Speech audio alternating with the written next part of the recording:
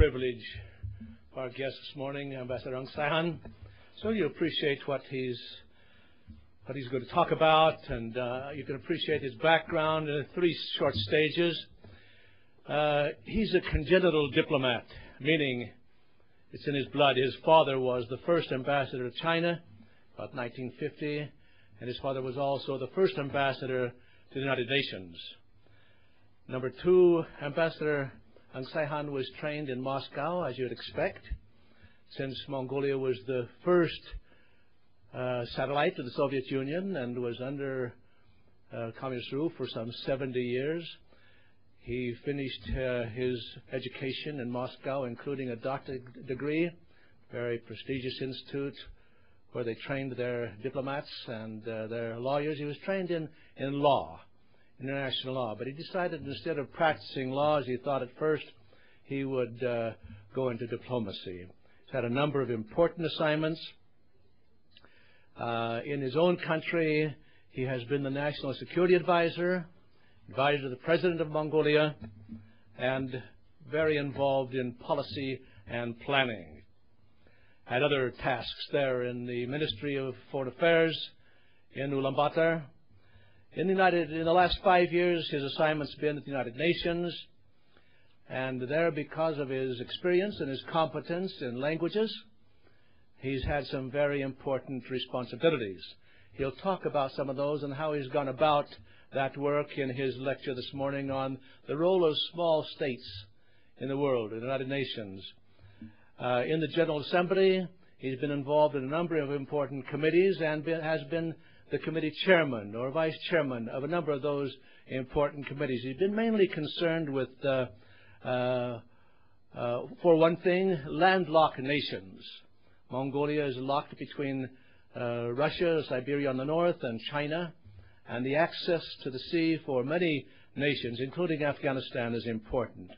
Also, he's been interested in disarmament, been able to take the initiative on some of uh, initiatives on uh, disarmament, on the law of the sea, the problem of nuclear-free zones, and the, uh, the he was elected as the chair of the legal committee in the General Assembly of the United Nations most of these, actually all of these assignments have been within the General Assembly of the United Nations during his five-year uh, assignment there, and we'll hope that'll continue. Please welcome Ambassador Aung San from Mongolia.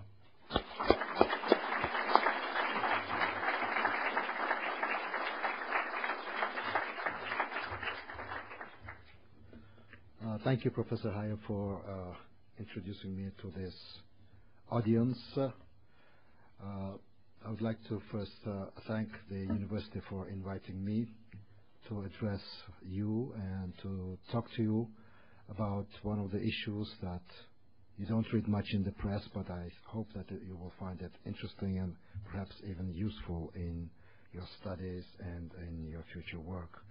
As uh, Professor Hyer has already said, I will talk briefly about the role of smaller states in international relations. I think uh, this topic is a very, uh, very important topic now. It's becoming a very important topic due to the reasons uh, that if you look in, you read in the press, you find that most of the trouble spots in the world are not in Europe or in America, but in in regions where the countries are either small or medium-sized.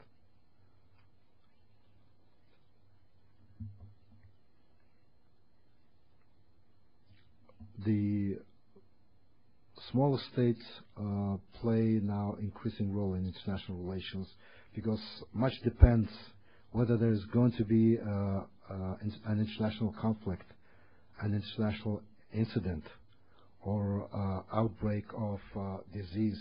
Much much depends on the policies of small states because that's uh, where it's likely to happen even the disasters, the uh, disasters like, like uh, hurricanes, the smaller states are the ones who become usually the victims and are the ones uh, who need help and assistance and understanding from international uh, players. although we know very well that international relations are dominated by larger states, by interactions and relations among uh, larger states. It's very important. But nevertheless, the object of international relations have always been usually the smaller states. The criteria of smaller states are different, as you might know. Uh, that depends on the size of a country, of a population of that country. For example, Mongolia, uh, size, the territory of Mongolia is 1.6 million square kilometers. That uh, would uh, be equal to the uh, size of Britain, France, Germany, and Italy taken together. It's the 16th largest country in the world, but we consider ourselves as a small country because of our population. Our population is about 2.3 million. It's a little bit larger, I guess, than the population of Utah State. So the uh, the size of the territory, size of the uh, of the population is important, as well as the level of development. Whether the country is a strong country or a weak country, that um, uh, much depends on that. Whether the country can defend itself militarily or otherwise from the encroachments of other countries. That also is a very important criteria to identify a country as small or big or small. And of course, the geographical location. Mongolia will always be a small country compared to our two neighbors. Russia with a population of 150 million, and China with a population of 1.3 billion. Uh, in international relations, we should always distinguish between small states and weak states small states and failed states. Uh, small states uh, do not necessarily have to be weak or failed states. Look at Singapore. Singapore is a small country, small population, but nevertheless, its uh, growth rate, its uh, weight in international economic relations, its weight in international relations, especially in Southeast Asia, is uh, uh, very big and it is growing. On the other hand, you see, uh, let's say, Afghanistan, a country, a landlocked country with a population of almost two, uh, 27 million. One third of the population are now living abroad, meaning as refugees in neighboring countries. It is a typical uh, failed state, and uh, again, failed states are not necessarily the smaller states. That's what I wanted to make uh, at, the, beginning of my talk. The small states, there have always been small states in the world, and we have noted three waves of creation of small states after World War II. The first wave was at the begin, started at the beginning of 1950s, and throughout the 1960s, we have seen emergence of uh, smaller and or medium-sized states in Africa, The decolonization process brought in about 40 countries with their uh, goals, achievements, with their problems and challenges, and they have all become members of the United Nations. The second uh, wave of uh, small states was in 1960s, 70s, and 80s, when small Pacific Island countries declared their independence, and all wanted to join the United Nations all wanted to be part of uh, the international community, which the United Nations members, member state have accepted them. But they came in with their own problems as well as with the promises of putting their own uh, um, efforts to uh, the noble aims of the United Nations. And the third wave, as you might know, uh, of small states, creation of small states started with the disintegration of the Soviet Union. 15 states have uh, emerged, two of them large ones, Ukraine and Russia, but other, other states have always been small states. And of course, with the disintegration of Yugoslavia, a number of smaller states have also been created. The smaller states, what uh, unites them is that they have uh, uh, problems and challenges that the, the larger countries have difficulties to understand but they are common to these countries. I would say that about three-fourths of the United Nations membership are small states or medium-sized states. So the United Nations sometimes is perceived that it is much more uh, that uh, smaller and medium states need much more United Nations than the larger states. But uh, it's not the case. I think all countries need the United Nations. And if we don't have the United Nations, it has to be uh, invented because it is a forum where all the problems, international problems or national problems that can uh, that might be spilled into international problems can be taken up, uh, debated, and perhaps with some luck, uh, a solution could be found to, these problems.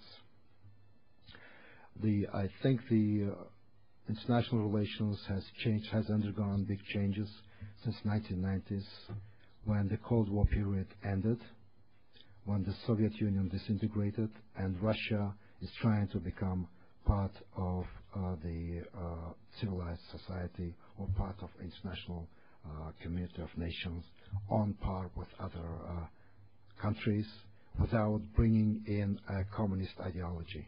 And that has changed, of course, the situation, not only international situation, but also at the United Nations.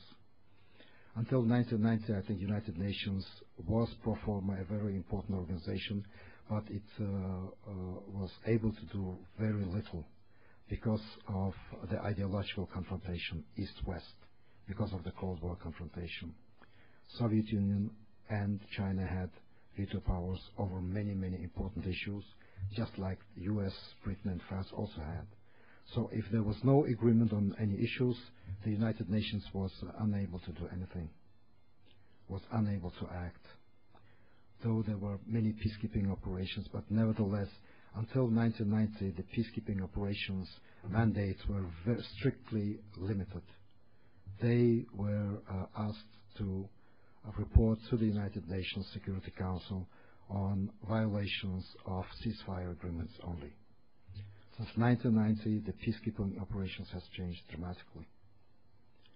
They are now uh, the United Nations uh, Blue Beret, the United Nations forces are now taking uh, an active part in peace building, in post-conflict peace building, and that is uh, an entirely new uh, concept that was made possible because of the end of the Cold War and the role of smallest countries now at the United Nations is also increasing. Before you were either with the, with the Soviet bloc or with the Western bloc. The non-aligned countries tried to play a fair or let's say a game of uh, uh, mediator, but uh, uh it wasn't able to do that. So the post-Cold War uh, period, I think, is uh, increasing the chances for working for peace increasing the weight of smaller countries. We can take uh, Mongolia as an example, but I'll come to that uh, uh, in a minute. Since I'm ambassador of Mongolia, I guess I would have to say a few things, uh, a few words about my, my country as well. My country, Mongolia, as you know, is situated between Russia and China, two great superpowers, and our foreign policy and our destiny has always been tied with them. that Mongolia uh, throughout the 20th century has been siding with the Soviets. The Soviets, just like uh, President Bush has said uh, after the 9/11, the Soviets asked, uh, uh, were saying that either you are with us or you are against us. Now, the, the President Bush was uh, saying about something different, terrorism.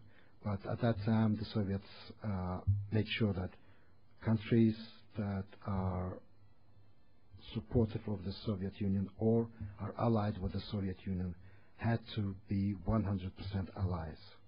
There should be no dissension. And we, as a small country, had uh, many difficulties in doing that because we cannot espouse only the Soviet policies. We're smaller countries. We see that there are problems that the Soviet Union would not feel, would not even uh, notice while these problems we had uh, ourselves, just like uh, many other smaller countries. But until 1990, with uh, strict Cold War uh, discipline, we were siding with the Soviets. In 1990, the uh, uh, situation has changed. Now we, like many other smaller countries, are able to play a much larger or let's say much more active role in international relations and especially at uh, the United uh, Nations.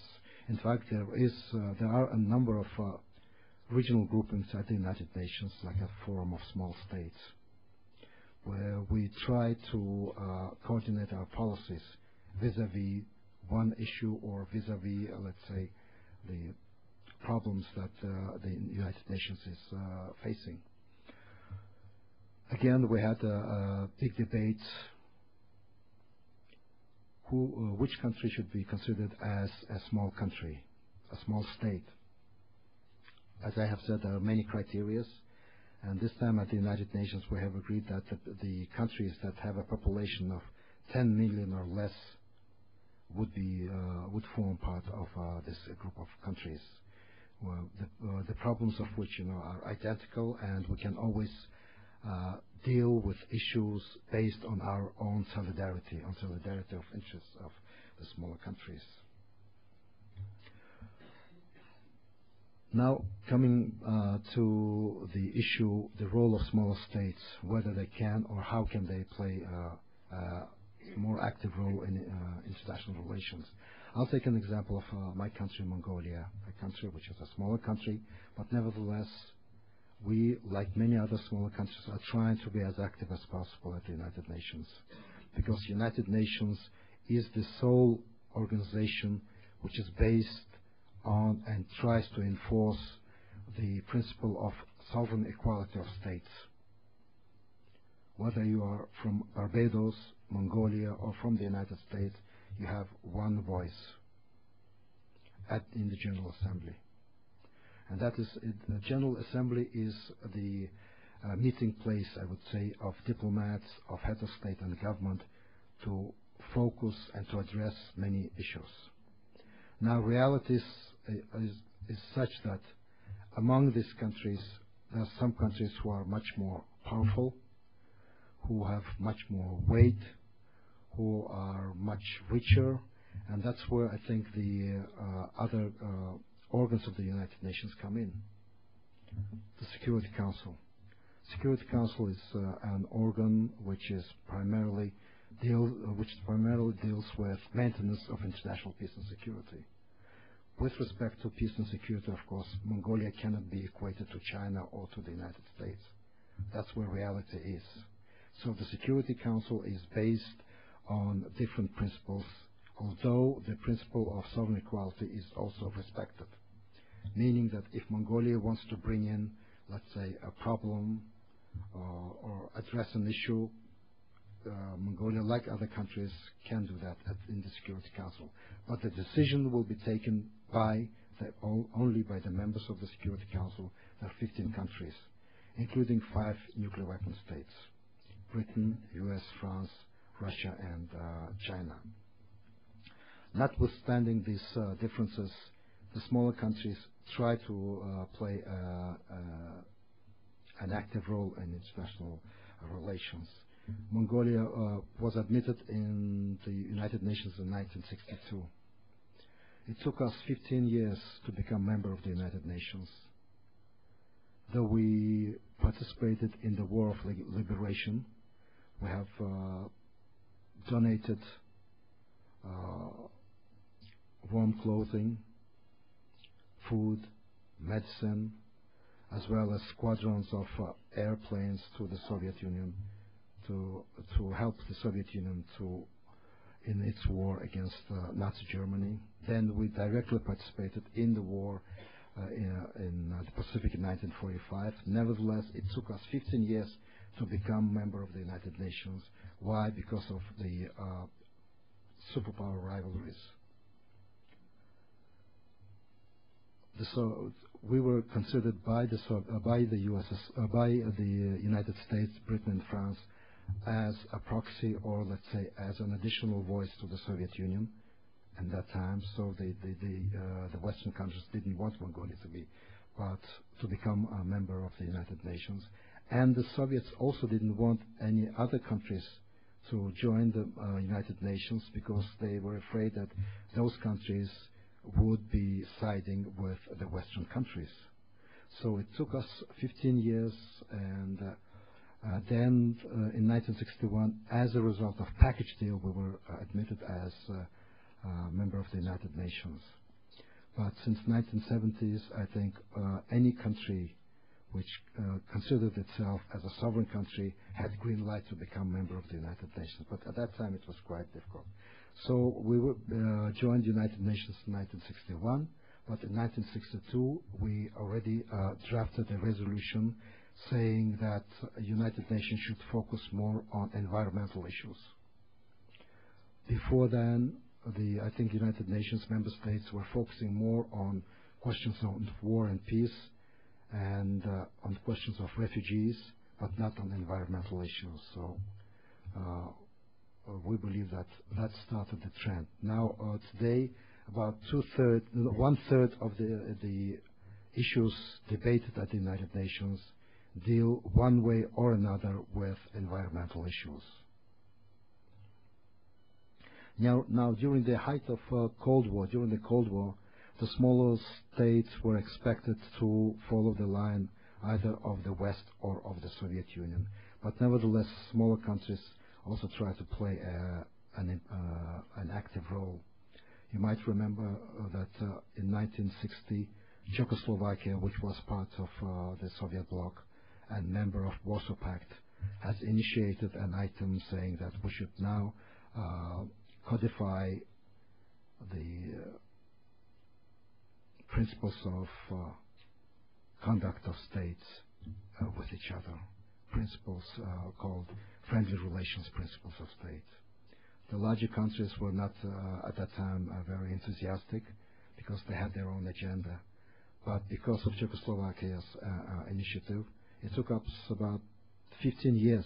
But nevertheless, at the end of, uh, 15 years, the United Nations thanked uh, Czechoslovakia and adopted a set of uh, declaration which specifies in greater detail what UN means when it says non-use of force, non-threat of use of force, non-interference in internal affairs of other countries, and so on, so forth. Uh, in the 1970s, Mongolia had Soviet troops on its territory. They were uh, sent into Mongolia as if to protect Mongolia from China. The Soviet troops had nuclear weapons. As you might know, uh, in 1970s, the so Sino-Soviet conflict was becoming one of the major problems in international relations. Uh, the Soviets had at that time, I think, 53 divisions, combat-ready divisions on their border, including in Mongolia. China had about 1.2 million soldiers on their border with the Soviet Union and Mongolia again. Mongolia was caught in, between. And at that time, since uh, the smaller countries didn't have say in the disarmament negotiations, Mongolia uh, put forward a suggestion, and it was accepted by the majority, that perhaps the uh, government should be held accountable for their uh, for their nuclear armaments policies. And because of that, the United Nations every year discusses this issue. Even today, after the end of the Cold War, discusses the issue. What the nuclear weapon states have done, have been doing during the past year in order to achieve the aims of disarmament. Of course, the Soviets were not very happy, but once we had had that, uh, uh, we had put forward that, that, item for discussion, they had no uh, uh, other alternative but to accept and support it. So sometimes the small countries would do something, knowing quite well that that might not be accepted by the small, by the larger countries.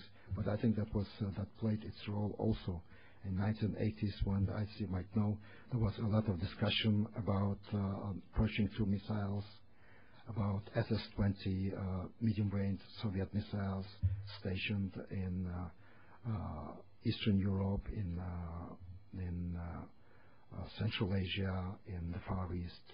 So I think the discussion of these issues also showed to the nuclear weapon states that they should be held accountable not only to the smaller countries but to their own people because the discussions of the General Assembly are open and whoever wants is interested can always get the summaries of the discussions.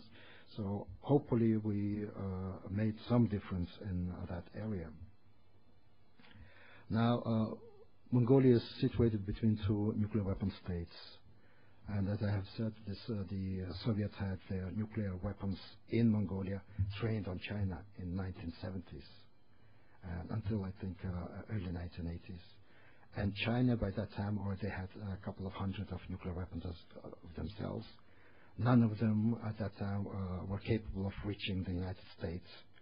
Some of them could have reached maybe Moscow, but most of them were tactical or medium range. And Mongolia was caught in between these two powers. And as I was given to understand, in late 1960s, the Soviets even approached the United States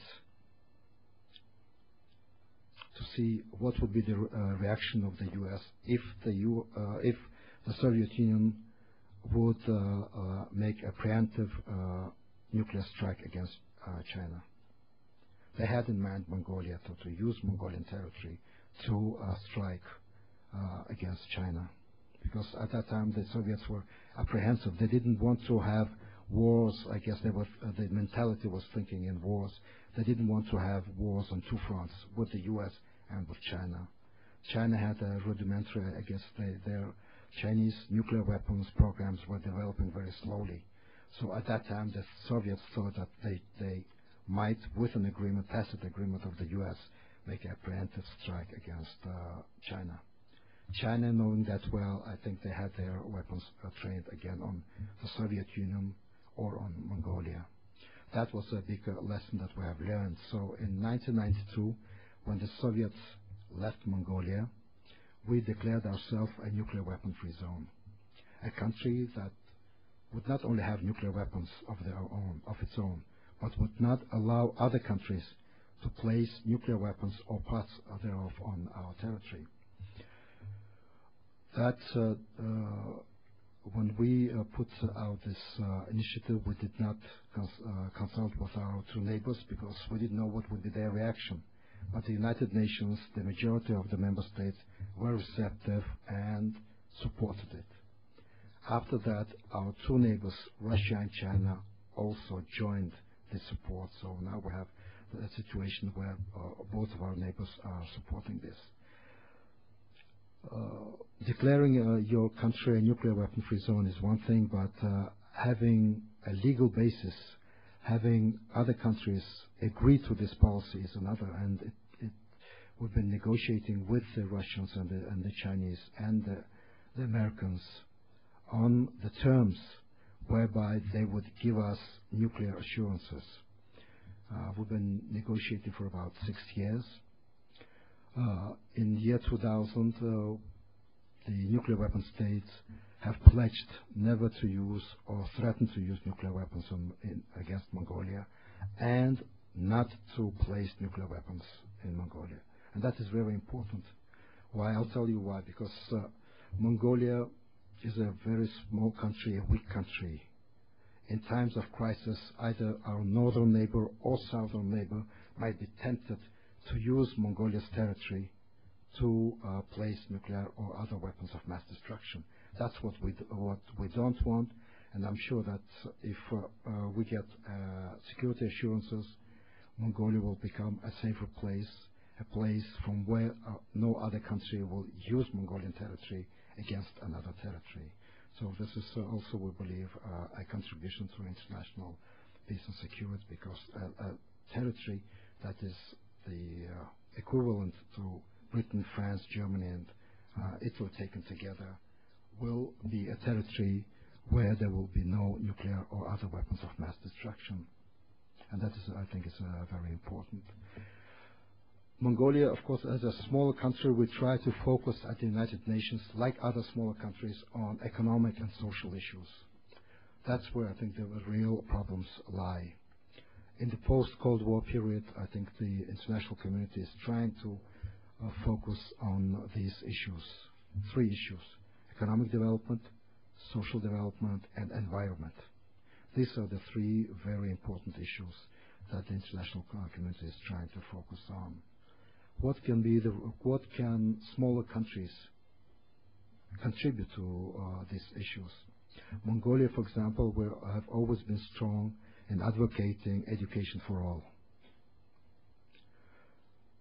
Uh, by late 1980s, 95% of our population uh, was literate.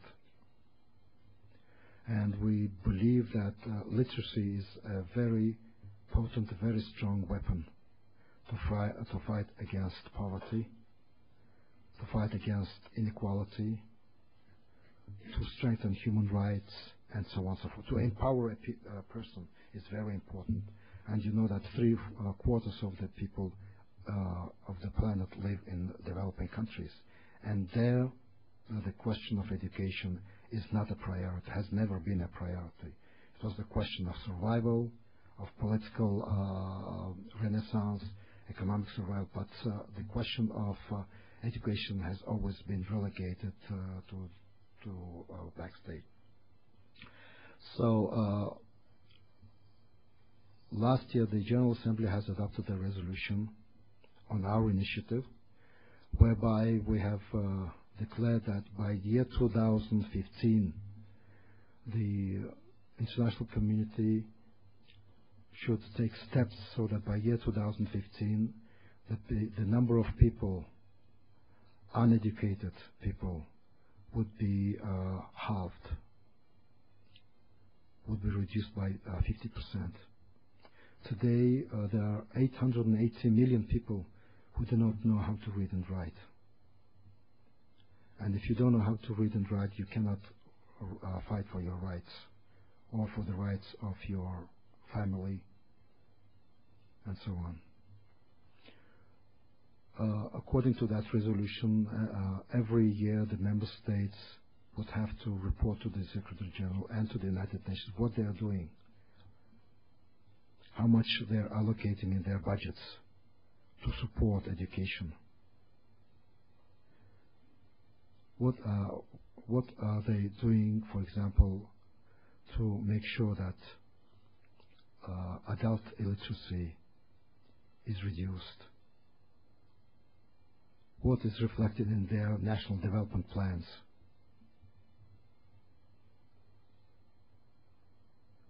What uh, measures they are taking to make sure that uh, computer illiteracy question is addressed. There are many, many questions. And uh, hopefully the United Nations, starting from next year, would be able to focus on this issue. Of course, the target of halving the educate uh, the people who do not know how to read and write by 2015 is a really big challenge maybe not in the U.S., maybe not in uh, the Western European countries, but in Africa, in parts of Asia, in some uh, countries of Latin America, it really is a challenge. And we're trying to focus the energy and of the United Nations on this question. How the United Nations can help. There are many uh, countries that have a lot of experience. They have uh, hardware that, that can be, that, that can contribute to uh, addressing this problem. There are 113 million children, school-age uh, children, that uh, do not attend schools. I'm sure that many of them might become criminals. You don't uh, rule out that uh, some of them might end up even becoming terrorists. Of course, that's not the main reason. The main reason for us is just to make sure that by 2015, these uh, 113 million children that uh, do not uh, have do not attend schools will be attending schools. That by 2015 there will be no no child that would be out of school. Maybe the first uh, uh, target should be that all children should get four years of education at least. You cannot change the world uh, instantly in one day, so perhaps by year 2010, all children should get four years of education. By year 2015, perhaps the secondary education that every person or every child should get a sec secondary education. These are the uh, problems that you know the developing countries are, are facing, and since the larger countries, the bigger powers, are very busy looking after the questions connected with international peace and security, Afghanistan, peacekeeping operations. Perhaps small countries would be able to provide some ideas and focus the international community on these and other respected uh, and other issues. Another issue uh, where Mongolia is uh, quite active is rural women. Mongolia, the two-thirds of our population are in the country, live in the countryside, and half of them are women. And In the developing countries, as you might know, rural women women that live in the countryside are the people who have been neglected throughout history. And uh, what we are trying to do is to focus also on the plight, on the status of uh, rural women, because the, uh, the rural women are the ones who are not employed, whose work is not uh, uh, uh, is ignored, who tries to look after the children, to give them education, make sure that the children are well fed and so on. So, but at the same time, they don't have any rights. They don't know their own rights. And it took uh, the Mongolian delegation for about about seven years to have uh, General Assembly accept a resolution in year uh, 1998 for the first time in history the United Nations, by consensus, said that yes, rural women have the right, uh, the same rights as men, including to inherit land, to own land, to inherit property, and so on and so forth. There are many countries in the world where the woman, the status of woman is not, uh, has not been uh, identified, where women considered as uh, their place is in the family, and even in the family uh, business, they have no rights, no voice. So in 1998, for the first time after six years of negotiations, the General Assembly has adopted a resolution confirming the rights of women, of rural women, to own land and to have the same rights of inheritance like other people. Talking about 1.7 billion people in the world. The larger countries, again, they're dealing with larger issues, but we believe that this is not a small issue as well. After that, we have asked the member states to report back what is being done to implement that resolution. Some countries, including some Islamic countries, are based on this consensus resolution. They have taken this resolution to their parliaments and are saying, look, this is the world standard, and we have to live up to that world standard. And they're trying, or beginning already, to introduce legislation whereby the rights of rural women would uh, would be uh, protected, defined and protected. We as uh, members of small countries believe that are, uh, uh, it is a big thing. Uh, so uh, that's uh, where we uh, trying to be as active as uh, uh, possible. Another area, I guess, it will take me five minutes, then we can get to the second stage, the question of negotiations. I was telling my colleagues when I was meeting them earlier, negotiations are the main instrument of international politics, of diplomacy. But so far, there has never been any codified rules of international negotiations. The larger countries are comfortable with the absence of those uh, uh, rules because they have other means to influence. They have power, they have financial power, they have economic power, they have many friends and allies who would support you. But for smaller countries, it's difficult it's not only for smaller countries, but we believe that in the future, if you want to really negotiate and settle a question, you have to have special rules which you expect the other uh, side would also respect. This is the question that we have raised in 1998, and it took us about two years of hard negotiations. The larger countries were not very enthusiastic, but once it was on the table, they had no choice but also to start negotiating on the rules of negotiations. And at the end of the day, we were able to agree, all of us, 189 countries, on 14 rules of negotiations, of conducting negotiations. What do we mean negotiating in good faith? It's there. That negotiations, when you negotiate, you don't, uh, when you negotiate, the two parties negotiate, if there is a question that uh, affects vital interests of a third country, you should also consult that country. Before it was different. For example, in 1950s, we found out at the end of 1950s that the Chinese approached the Soviets about a deal whereby the Soviets would hand over Mongolia to China. And the Soviets uh, told us at the beginning of 1960s just to let us know how uh, uh, dangerous the Chinese are. They wouldn't have told us otherwise. But what we're trying to do through the United Nations is to make sure that such things never happen. And if such things happen, the results of negotiations should be considered as invalid, as null and void. And it was agreed by all 800, uh, 189 countries that there should be such rules and that such rules should be respected. Of course, that does not mean that after adoption of uh, uh, those set of rules, the negotiations will proceed smoothly. No. We're realists. But at the same time, at least now you have the rules against which you can judge a state, whether you are negotiating in good faith or not, whether your negotiations are uh, aimed at achieving concrete results or they're just make-believe uh, negotiations so that you can do something else behind the negotiations. So those uh, those are the small things that smaller countries try to bring in into international relations.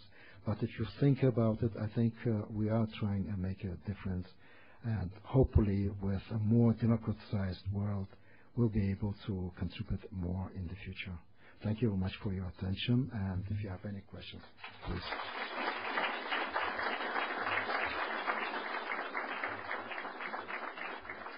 the ambassador has time for about five minutes of questions. Yes, please. Um, what has been the general reaction to the states, the small states in the UN, to the uh, when the United States retreated from the ABM treaty with Russia? What what have their reaction been? Has it been like in support of it, against it? Well, the ABM treaty. Uh, there are uh, two questions. First question of principle. If the United States uh, withdraws from the uh, ABM treaty that might uh, have a precedent. When a country, when it feels that it is strong enough to do uh, away a treaty, that might set a bad precedent. The smaller countries, we don't want that. The smaller countries are always in favor of cooperation and in favor of legality, development of international law.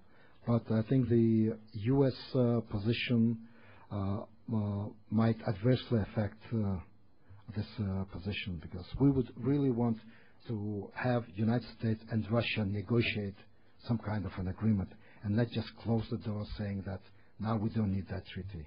So I would say the smaller countries would have wanted the U.S. to be more uh, cooperative, to negotiate with the Russians, and then once the Russians and the Americans have an agreement, then according to international law, the later agreement will supersede the previous one and not close the door shut. Yes. Yes, please. Sir, thank you very much for coming.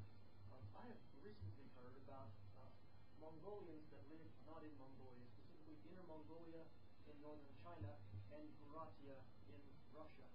Does the present government, of Mongolia have any designs on those areas, or would it be sympathetic towards independence movements or towards uh, movements to join with Mongolia within those areas? Well, uh, we have uh, we have diplomatic relations with Russia and China, meaning that once when we established relations, we have agreed that we will recognize China as it is, meaning that Inner Mongolia is part of China, like, and we uh, recognize Taiwan as part of China. We don't have any territorial problems or designs with uh, over China, although Inner Mongolia was part of China a couple of hundreds of years ago. But now, if you look at the reality, only 15% of the population are Mongolians, and 85% are, most of them are Chinese. Now, even if you uh, take put one and one together, we wouldn't want to have, uh, let's say, Inner Mongolia with a large Chinese population becoming part of Mongolia. Then we will become a minority in itself. But uh, even uh, without going into detail, I would say we recognize Russia as it is, meaning that uh, Buryatia, which was part of Mongolia in the 16th, uh, in the uh, 15th, 16th century, we uh, recognize uh, Buryatia as part of Russia. We don't want any changes in borders or changes in uh, uh, territories. I think we had enough bloodshed. I think we have uh, enough uh, uh, problems with territorial issues. But on the other hand, we know that there are many Mongolians living in Inner Mongolia and in Buryat Mongolia, which is part of Russia. What we want to have is good non-political relations, family-to-family relations, people-to-people relations, cultural relations, trade relations, yes. So when we approach this question without uh, having other intentions, I think the Russians and the uh, Chinese are very receptive. They understand that, and they allow their people to come to Mongolia without visa on extended stay. That's what we want. We want the people to live better and not to uh, raise many questions. That One will more question, in- then the ambassador has another appointment. Yes, please. You spoke earlier about um, landlocked nations and the concerns that they have on the ability to plan the economic stage. What is Mongolia's idea? What, what is Mongolia trying to do to increase of to compete on the global economic scale? That's a very important question. I hope it will, it will take me two minutes at least to answer that question. Mongolia is a landlocked uh, uh, country. There are about 30 landlocked country, developing countries, and most of them are the least developed ones. That means people live on less than a dollar a day. The problem is that when we want to trade, for example, Mongolia wants to trade with the U.S., you have to trade through Russia uh, or China, and that becomes very expensive, very, very uh, difficult especially if you have bad, you're on bad terms with your neighbor, then they can always bring up many, many problems. And even with uh, a good relation that we have with Russia and China, we pay about 6.8% of our GDP, 6.8% of our GDP as transit transportation costs and services to Russia and China. This is a very, very big amount of money. Our entire defense budget equals to only 2%. So you can imagine that it is a very big problem. And Mongolia at the United Nations for five years served as the leader of the landlocked developing countries. We are making some progress, but much depends on bilateral relations. You have to be realists. Now you're talking about Afghanistan. You're talking about the composition of the provisional government, who is in, who is out.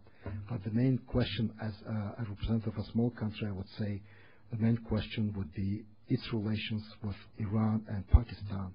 Because in the end, if Afghanistan wants to develop, it would have to develop its trade and other relations with other countries beyond, besides uh, uh, Afghanistan and uh, Pakistan and Iran. Iran and uh, Pakistan. And that's where the, the, the trick is. Because today, 40% of their export earnings goes to pay for transit transportation services to Iran or to, uh, to Pakistan. So in those conditions, it is very difficult to be competitive, even if you have a very good product.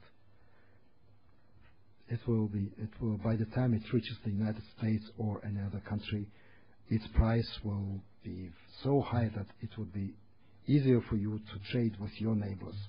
But when you trade with your neighbors, you'll become dependent uh, economically on your neighbors. That is a very, very big question, and this a group of 30 countries, landlocked developing countries, we're trying to focus uh, uh, on this question as well.